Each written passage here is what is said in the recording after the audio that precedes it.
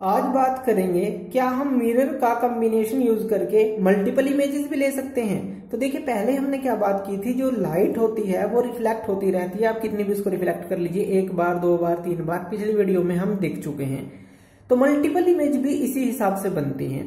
देखिए, अगर आपके पास एक मिरर है, मान लीजिए इस तरह का एक मिरर है, और उसके सामने आप कोई चीज़ रख दें, मान लीजिए कोयन आपने रख दिया तो आपको क्या दिखेगा? इसके अंदर सिर्फ़ इस कोयन की एक इमेज दिखेगी।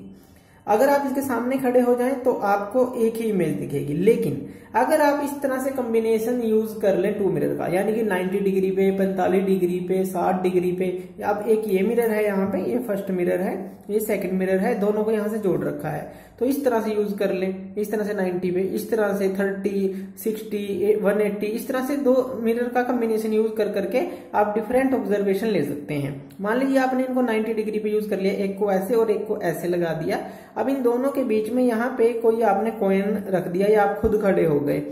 तो आपने क्या देखा कि इसमें भी और इसमें भी आपको कई तरह की इमेजेस दिखेंगी, दो, तीन, इस तरह से इमेज मल्टीपल इमेजेस दिखेंगे। तो ऐसा क्यों होता है? क्योंकि जो लाइट है वो रिफ्लेक्ट होती रहती है तो हमें, हमारी जो आँखों में रिफ्लेक्ट होकर लाइट आती है तो कई इमेज हमारे जो, आँख में या हम कहें जो माइंड को सिग्नल मिलता है, कई इमेजेस का मिलता है।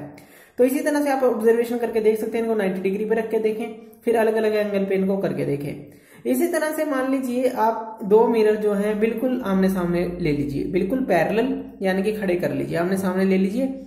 उनके बीच में आप एक कैंडल को, जलती हुई कैंडल को ले लीजिए।